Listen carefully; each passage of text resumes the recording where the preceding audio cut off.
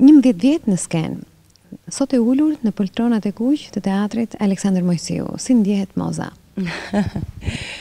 Më lejo t'i përgjigjem me një pyetje, si mund të ndihet Moza në shtëpinë e vet?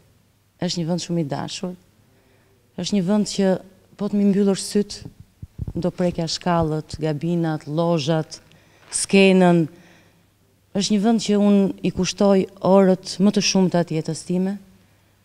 Është një vend ku më është dashur të rris dhe fëmijët, sepse orët e shumta që unë kam munguar në shtëpi, i kam kompensuar në këtë formë. Është një vend që e dua. Shtëpia duhet. Moza ne të kemi parë pa ndërprerje njëmbëdhjetë vjetët e fundit së paku në tridhjetë role në premierat e teatrit. Çfarë emocionesh përjeton teksa e ulur këtu shikojmë skenën përballë? Është emocion shumë i bukur, ja po e vë veten për një moment në në rolin e publikut. Dhe jam duke shijuar këtë skenën që ne tani jemi duke bërë prova. Dhe po t'i hedhësh një sy skenës janë objektet tona që janë shumë të dashura për ne, më duket sikur kam lënë rrobat, sikur kam lënë shpirtin. Është gjë shumë shumë shumë e bukur. Ë ky është një vend që bën festa shpesh dhe festa festohet me miq. Miqtë janë publiku. Dhe është gjë shumë e bukur, shumë shumë e bukur. Un kam shumë emocione tani që të kthej përgjigje, sepse dhe puna jonë është e lidhur me emocionin. Ose jo është e lidhur, po mbështetet vetëm me emocionin. Mbi dashurinë, është një punë që ne e duam të gjithë, si unë dhe kolegët e mi. Është emocion shumë i madh. Moza, ne të kemi parë në shumë role, por me Klitemestrën e Laert Vasilit, me regjinë e Laert Vasilit ke shkëlqyer. Çfarë çfarë ndodhi me këtë me këtë rol? me këtë çfarë ndodhi? Me këtë ndodhi dashuri me shikim të parë. Ë nuk mund të mohoj rolet e tjera, sepse Çdo roli ne i fusim shpirtin. Por Klitemnestra e Sofokliut, nuk e di, ishte një dashuri e jashtëzakonshme. Dhe unë për këtë dua ta falënderoj Laertin, i cili më përzgjodhi në fakt rastësisht, ashtu si përzgjodhi dhe stafin, sepse ishte i porsaardhur nga Greqia dhe nuk njifte asnjë nga aktorët. Besoi tek Klitemnestra që do bëja unë, Dhe unë them që ia dola dhe kënaqësinë më të madhe në gjithë karrierën time unë e kam përjetuar te ky rol. Ai arriti të zbulojë ke unë gjëra që as unë nuk i dija që i kisha patur. Klitemnestra për mua ishte ishte një figurë, ishte një rol, një personazh që mbasi e mbarova mendoja a do ketë një rol të dytë të tillë që unë ta dua kaq shumë. pa vënë në diskutim dhe rolet e tjera, sepse po si deshe rolet nuk mund t'i bësh, por po them kjo ishte ajo që ishte kontakti i parë, u dashurova me shikimin e parë. Moza, shfaqja jote e parë ka qenë Të jesh nënë me regji të Driada Dervishit. Si e kujton rolin tënd të parë, ngjitjen tënde të parë në skenën e teatrit? Edhe kjo është një emocion i veçantë dhe unë nuk do ta harroj kurrë. Ishte një pjesë e Roberto Brakos, e vënë nga Ada, dhe unë e kujtoj daljen time të parë në skenë në krah të Yllka Mujos. Dhe ky fakt flet shumë, të paktën për mua. Yllka për mua ishte, është diva e teatrit, E kisha adhuruar që e vogël dhe unë nuk arrija ta besoja që unë isha në krah të saj dhe po luaja në krah të saj. Nuk është se kisha ndonjë rol të ndonjë peshe të madhe, isha shërbëtorja, Tereza më kujtohet, e e Yllkës, por thjesht ai fakt që unë isha në krah të saj, ishte Gulim Radoja, ishte dalja e parë në skenë ishte shumë shumë emocionale dhe unë nuk do ta harroj kurrë, ka qenë në dy mijë e pesën. Edhe ishte një shfaqje që shkoi shumë mirë dhe ishte si një trampolinë për rolet e tjera. Shfaqje e bukur që do ta kujtoj gjithmonë. Moza, ti je nënë e dy fëmijëve. Sa ju ke munguar sa ju koha jote, sa ju ka munguar dy fëmijëve, duke ditur që orët më të mëdha siç e përmende më sipër i ke kaluar në këtë teatr, në këtë skenë, në këtë sallë. Është është e vërtetë, vetë profesioni ynë na bën që të që orët më të mëdha, e më orët më të shumta ne t'i kalojmë këtu. Edhe fëmijët fëmijëve ju ka munguar në një farë mënyre, jam munduar t'ua kompensoj me dashurinë time dhe me dhe me me suksesin e roleve. Dhe unë për shembull në çdo shfaqje vendos një motiv të brendshëm që më bën për të punuar.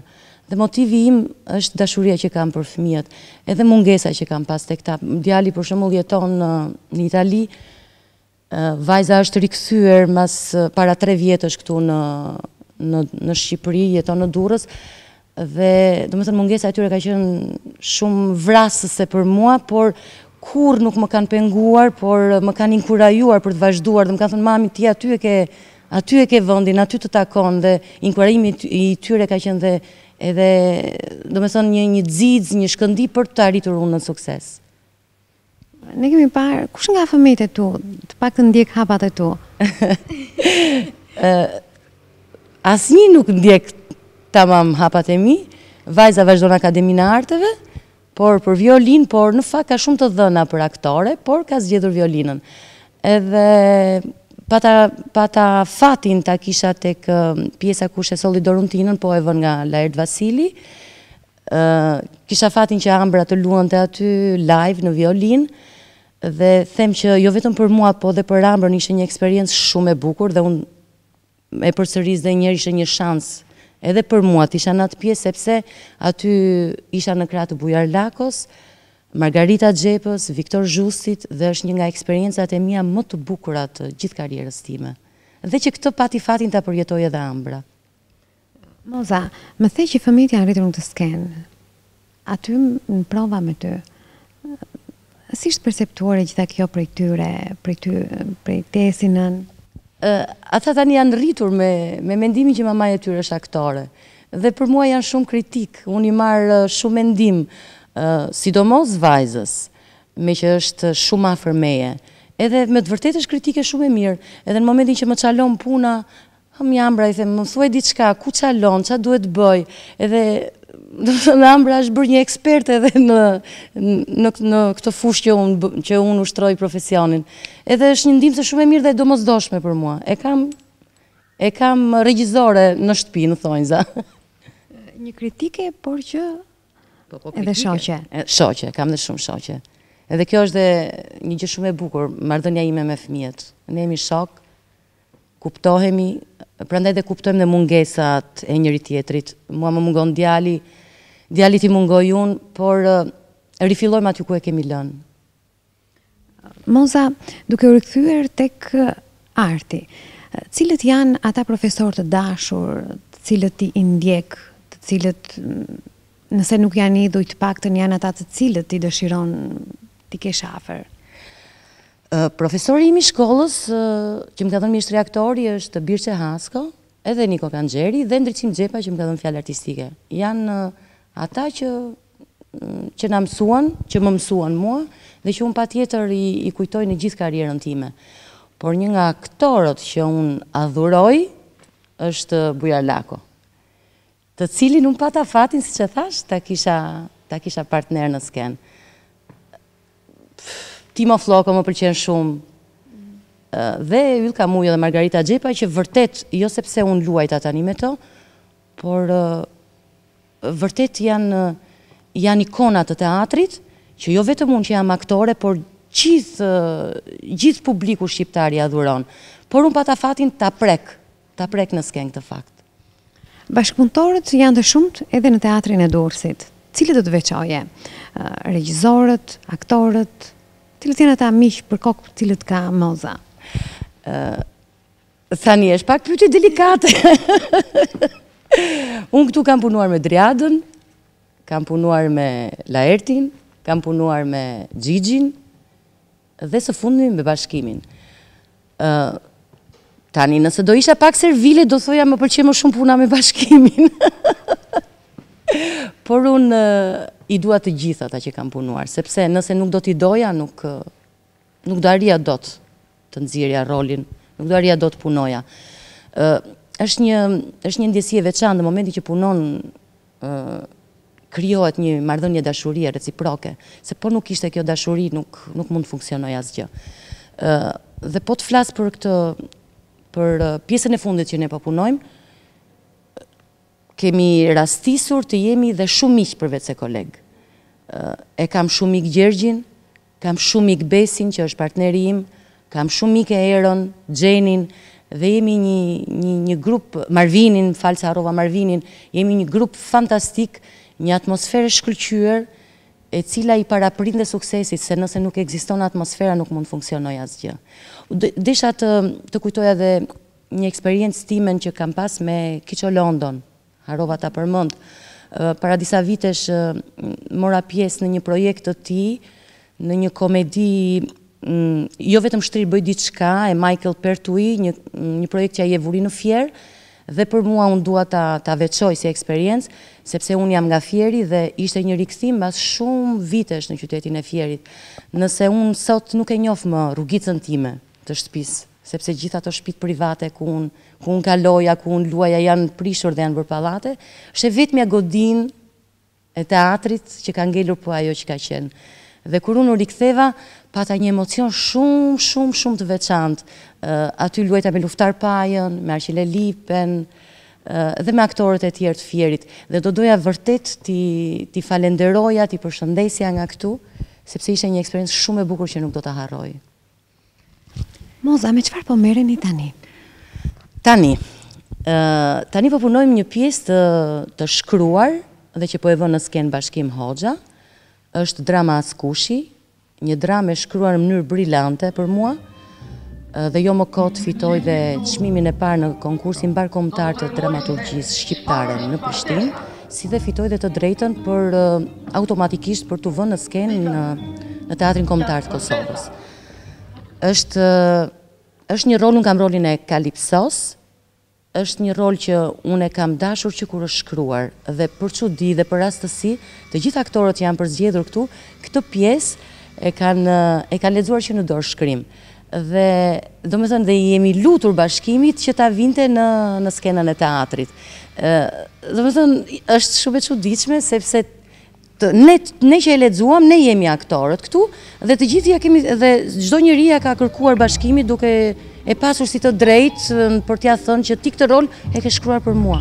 Dhe unë e shoh veten te ky rol. Era e sheh veten te ai rol që ka, Gjergji te ai rol që ka. Ë domethënë nuk e di, është është një pjesë sikur është shkruar për ne, dhe Bashkimi pranoi me kënaqësi dhe propozimet tona, domethënë na vuri në rolet që ne i kërkuam vetë.